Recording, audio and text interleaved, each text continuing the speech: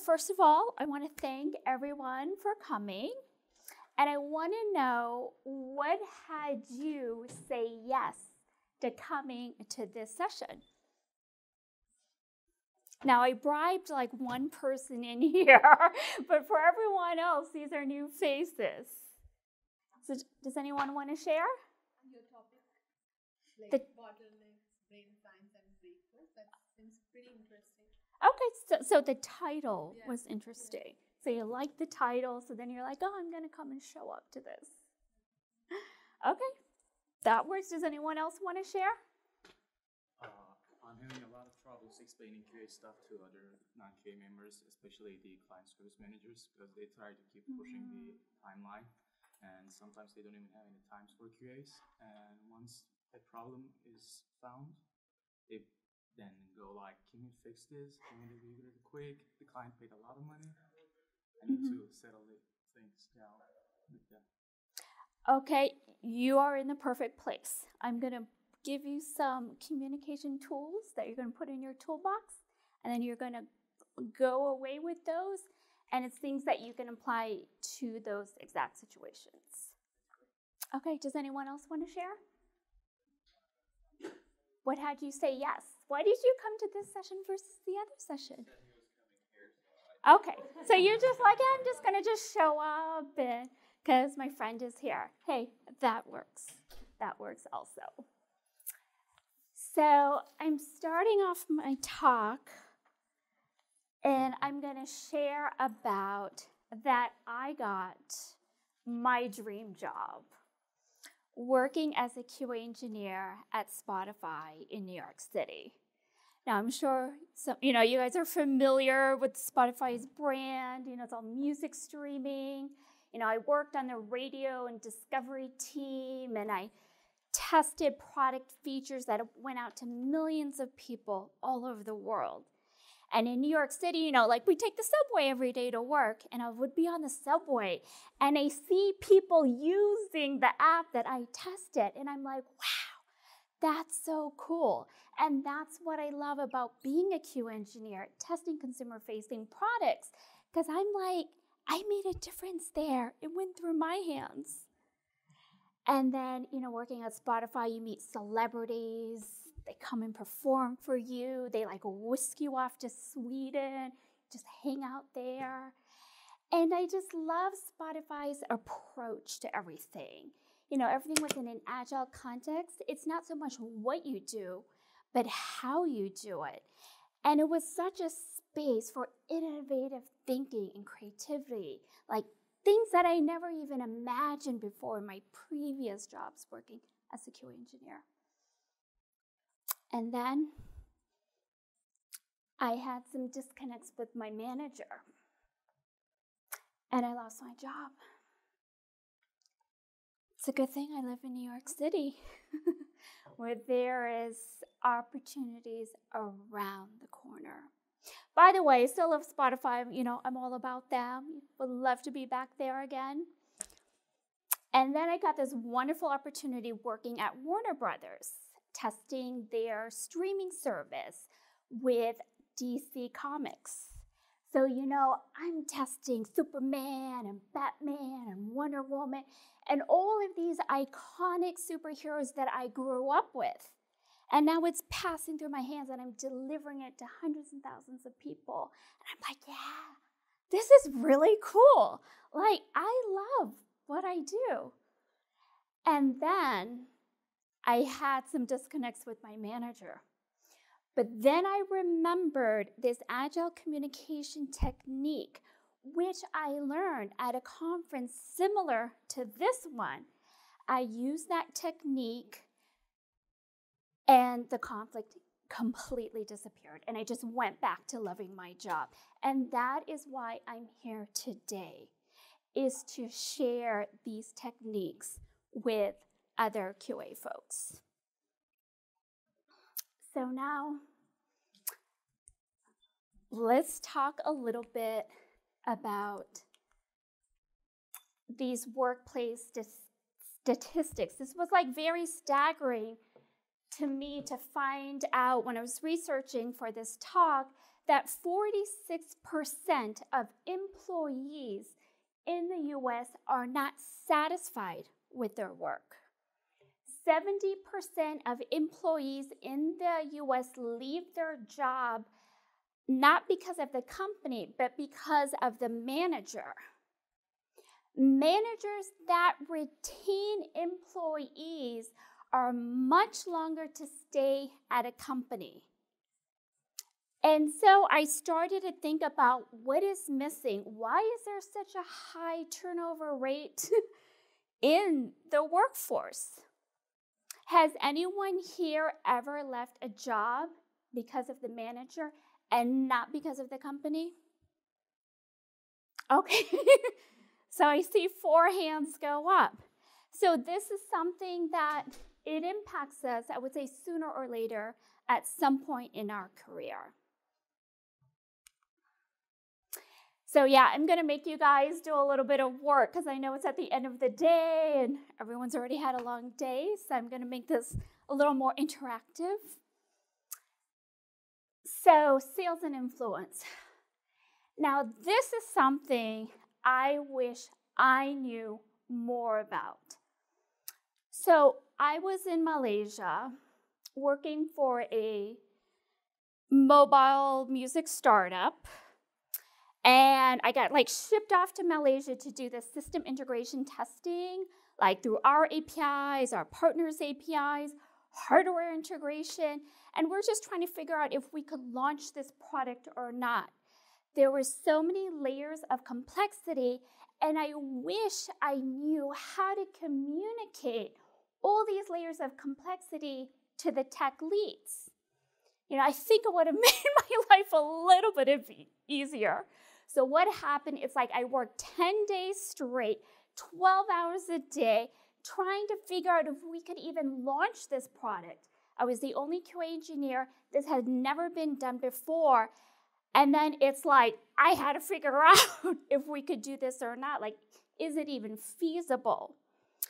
So I just like powered down, worked very hard, figured out how to do it, got the product launched. And then after all of that, I'm like, oh my God, like, how did we end up in that place? And then I thought my life would be so much easier if I knew how to articulate all these complexities and all these risks to the tech leads. So I've learned a few things since then. so when we talk about sales, what I found very interesting is that there is a lot of neuroscience that goes behind how our products sold. So now let's say you go to an e-commerce site and you're like, okay, I want to buy some towels. So, what you will find is the way that the copy is laid out is they don't focus so much on the features of the products, but they focus more of, on the benefits in the terms of a daily benefit to the user. When you start to frame what you sell in those terms, it's much easier for the user to understand. So for example, I want to like buy some towels and I'm looking at all these towels and there's like 300 thread count and 400 thread count. Does that resonate with me? I'm like, no, I mean, that's a product feature. But if they say, oh, this towel is so soft, it's gonna make you feel like, you know, like you're wrapped, you know, like you're like touching a teddy bear, you're like, oh, wow. But I can relate to that experience because I could relate to that experience on a daily basis. And that is the power of sales is how do you frame what you're selling? So now how does this apply to us?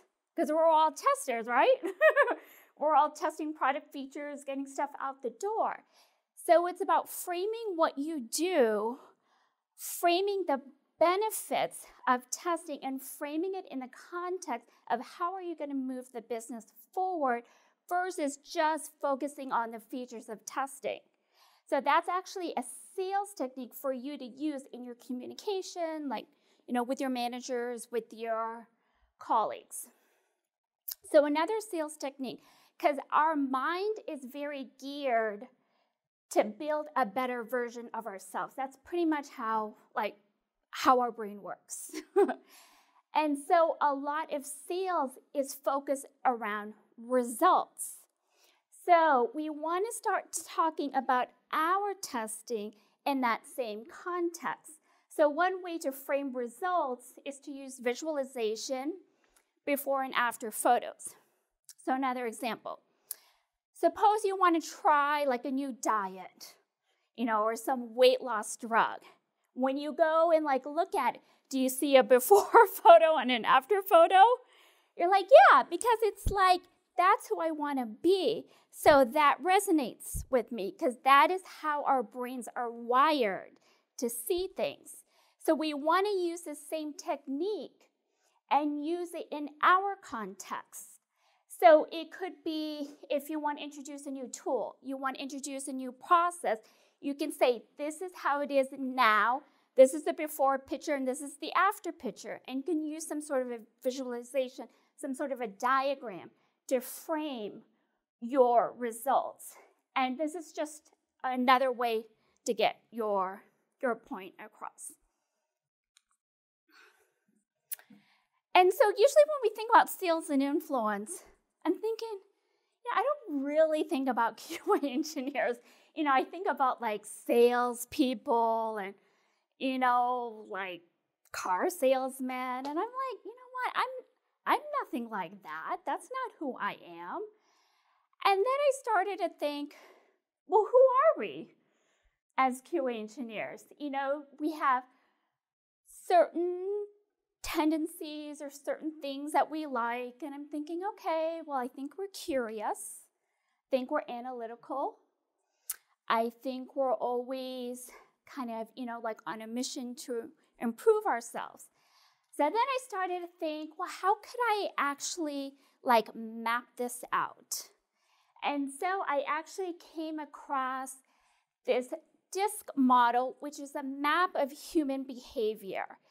So here we're going from outgoing to reserved, from task oriented to people oriented.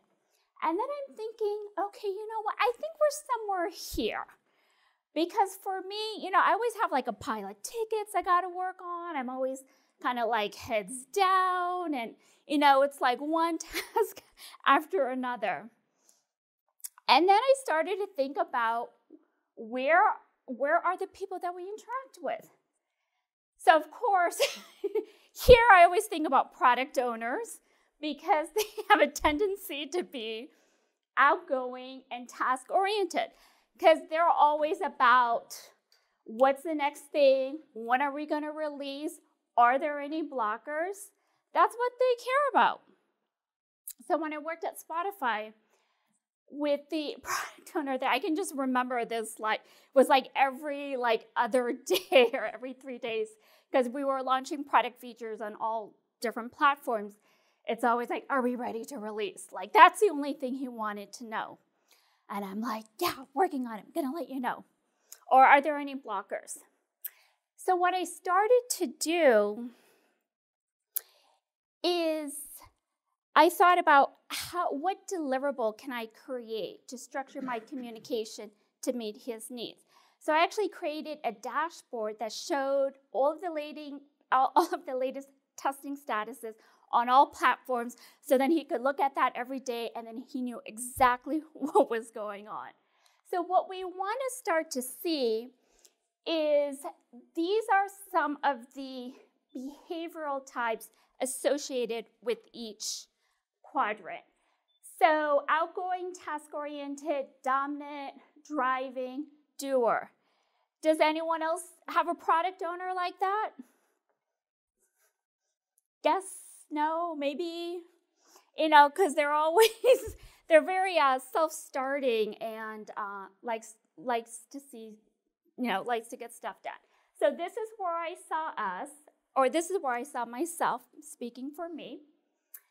And the other quadrants, people-oriented and reserved. supporting steady and stable, I always think about the customer support leads because they're on the front lines, they're dealing with people, and they're the ones that always have kind of that like consistent response. So, what we want to start to see are what are the key insights into these behaviors. So, for dominant, for outgoing and task oriented, the key relationship insight is results. So, you want to start to create your communication and your structures for communications. It's around results. When is this done? Like, for example, I had built him a dashboard. For people oriented and reserved, sincere appreciation. Again, I always think about like the customer support leads that, you know, they're all dealing with all our customers calling in and not always being so happy. Why don't you, you know, let them know the difference that they're making? You know, just get like the impact it would have on them. Oh, and one other thing. Oh, on this, sometimes we can see ourselves here, but we could have a manager that's in a very different quadrant. So, what we want to start to see is where are we in this model and where are the people that we interact with in this model. So, the first step in improving our communication is knowing that and then we can start to begin to understand what do they really need and how can I satisfy that. And oh, when I actually kind of took a step back and looked at this whole thing and got that this is where I'm at, and that the key relationship insight to me is trust and integrity, it sort of altered like how I saw myself. And I actually learned something about myself. And I'm like, wow, I didn't see it in that context before. But that's just something like that sort of showed up for me while I was doing this. So, I remember the first time I was called a bottleneck. I was um, you know, working at that music startup, launching those mobile products in Malaysia. And, um, you know, we just had like a sprint planning meeting. You get out of your meeting. I look up, and the, and the tech lead, he said, QA is a bottleneck. And in my head, I am like, OMG, you're calling me a bottleneck? I literally had 60 tickets assigned to me on the front end, or excuse me, on the back end. I'm doing the front end testing. I just went to Malaysia, launched that application. I'm working on the next product launch, and I'm the bottleneck. Oh my God. I was so triggered in that moment. And then so this is a while later. I'm working at Warner Brothers. You know, I'm launching DC Universe. I'm looking at Batman, Superman, thinking this is great. I was a back-end QA engineer responsible for doing, you know, back-end testing. I had like a whole bunch of tickets assigned to me. I just had worked that weekend because I was trying to get ready for the release on Monday. And then I had a whole stack of tickets assigned to me, and we had to push the release back. And I look up, and the developer said, QA is a bottleneck. And I'm like, oh my God, I can't believe you're calling me a bottleneck. I'm the one who's doing all this work. And in that moment, I was like, oh my God, here we go again. I was so triggered. So now let's talk about brain science and what leads us to be triggered and upset. So, our brain is split into two parts. We have our conscious mind and we have our subconscious mind. In our conscious mind, we control our speech, our movement, our behavior. So I can consciously move my hand from here to here. Our subconscious mind houses all the experiences and the memories you've had your entire life. Most of your communication is driven by your subconscious mind. Your communication, your pattern behaviors is all driven by your subconscious. Our brain is made up of billions and billions of neurons that come together and they create synapses and we have thoughts. It is a very complex organ, and yet it, our behavior is also built on predictability. And our brain stores our short term memories, and we have long term memories. Now we have a part of our brain called the amygdala. That's the location of the amygdala, and it's a very primitive part of our brain. It is responsible for our perception of emotions and emotional memories. It actually, all our emotion, our memories are stored there, and it's actually the memories that are based on fear and anger. And there's a condition called an, an amygdala hijack, is where we experience a threat or fear, which puts us into a fight or flight mode, but there is no physical threat there. It's the psychological stress which is present, but we get this visceral rea- like experience in our body, like you just feel it, like you just just want to like kill someone.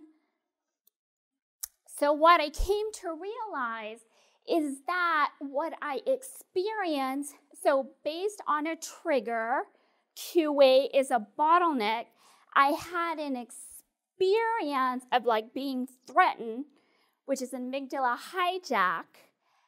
And once I could see all that and understand that it's just a function of the brain and that I just got activated based on a stimulus, then I could let that go.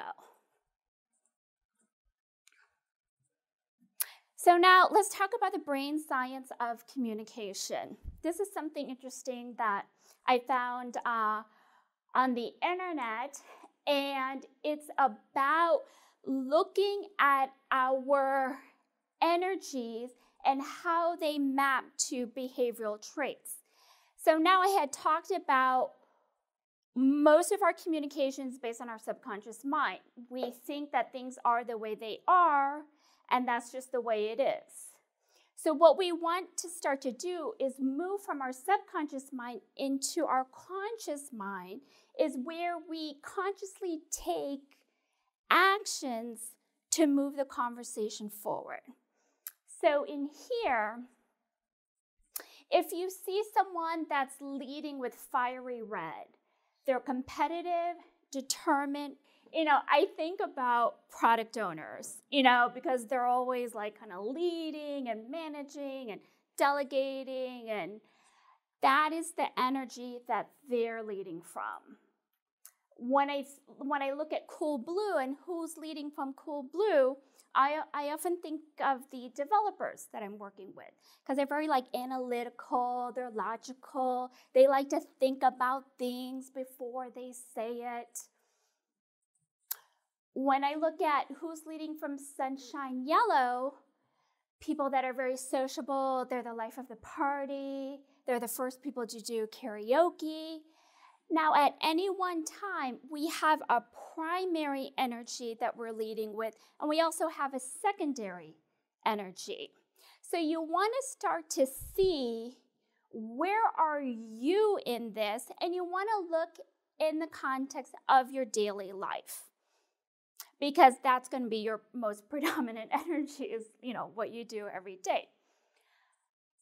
So we want to start to become more self-aware. And inside of doing this, we want to start to see other people's energies. But we want to meet people at their energy level, not your energy level.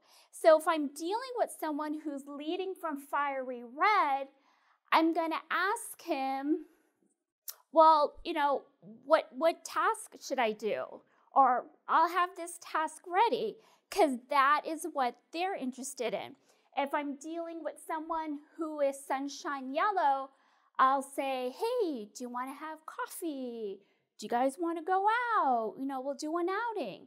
If I'm interacting with someone in cool blue, like, you know, I think of, you know, developers that I worked with, I would ask him or her, like, hey, you want to do some sort of a logic game or a puzzle? And in that way, I can move the conversation forward with a conscious attempt at meeting them at their energy level.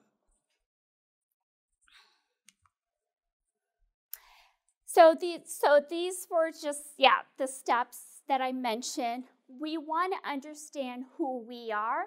Now we're all wired in a certain way. We have natural tendencies to do something, some things well, some things not as well. So it's a science of self-awareness.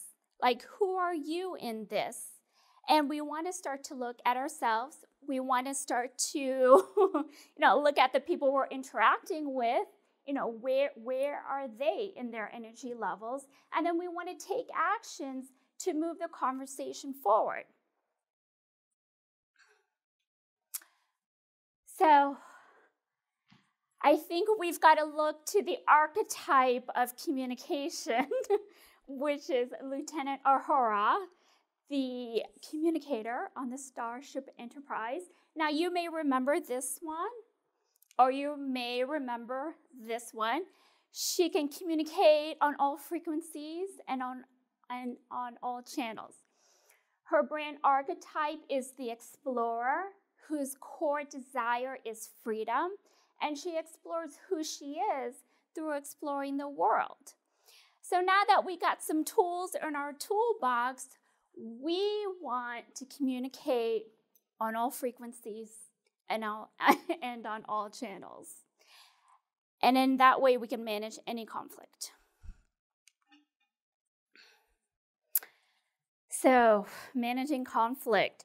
So, who here has, has had a conflict that they had to deal with in the workplace, either with their manager or with a, or with a colleague? Okay, so I see, see a few hands up, almost like half the room. So this is something we're dealing with, you know, and I think as Q engineers, when we move into more of a modern testing role, we're working with a lot with, you know, a lot of different teams. These teams may, you know, be co-located, you may be you know, working with people in different countries and different cultures. So there's sort of like layers and layers of communication that you're, you know, that you're dealing with. So when we talk about managing conflicts, so back when I was at Warner Brothers, I, um, you know, doing the back end QA work, I'm launching, you know, this SVOD service. And then when these communication disconnects started happening again with my manager, I knew I needed to have a conversation with him. I was very clear on that. And then I remembered this agile communication technique that I learned in a conference similar to this. And the technique is to say, This is what I've observed, this is how it made me feel, and this is what I need. And when we start to say what we need, we actually have a starting place to start from. Because in life, we don't often go around telling people what we need. And I thought, oh my God, in the workplace, I'm going to tell somebody what I need. Like, can I do that? But I use this technique, I transformed the conversation, the disconnects disappeared, and I just went back to loving my job again. So this is the technique here. Instead of saying something like you're a jerk, is that going to get you very far? So that's a reaction. So we want to come from a created place where we say what has happened and then you're saying the impact it has on, on you, and then you're basically making a request by stating what you need. So, the other part of managing conflict is actually expecting conflict. But we don't really kind of go around day to day thinking, oh, I'm going to expect some conflict. We're like, no, we're just kind of doing what we do. And then if something happens, then you're like, oh, I may deal with this or I may not deal with this. There's a lot of strategies for managing conflict. So, who here has had a conflict that you did not want to confront? That you're like, eh, whatever, I'm just not going to do anything. Okay, so I see about half, half the hands in the room came up. So that's also part of that's a strategy for managing conflict is like avoiding, denying, just not going to do anything. Maybe it'll just magically resolve itself. So for the first step is you consciously need to know that you have a conflict and that you are willing to deal with that conflict. And now we move from our subconscious brain into our conscious brain because we know I'm going to deal with that. And then now you've got that tool in your toolbox to empower you to deal with that conflict. So, this is just some software folklore that I came across. This is just one of my favorite kind of like software testing quotes. Um, what I find fascinating here is looking at the constraints that we have in communication and how does that get reflected into the software product. So I want you to start to look for yourselves like whenever have you had like a missing requirement or some gaps and then how that got reflected into the product because as human beings and working with different groups, sometimes we get siloed or whatever the situation is. We want to just start to look at that and just understand the impact of the constraints of communication.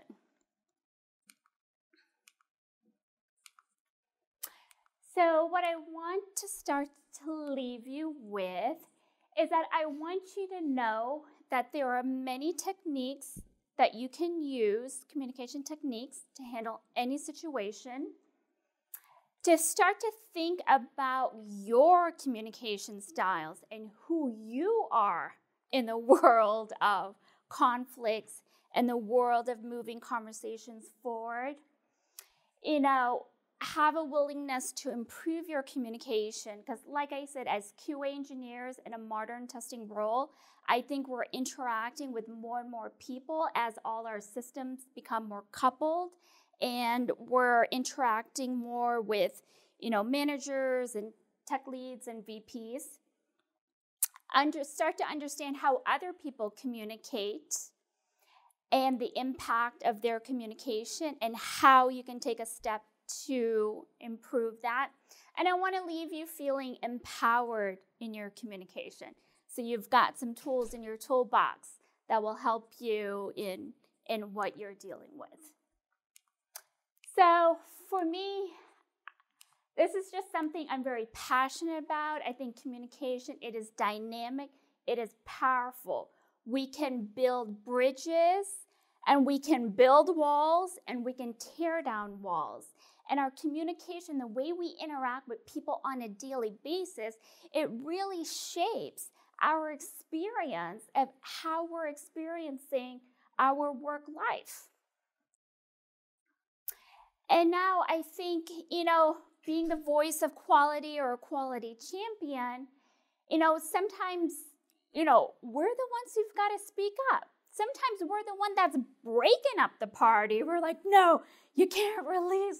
I just found a critical issue and it's like in the 11th hour and you've got to say something because you know this release can't go out.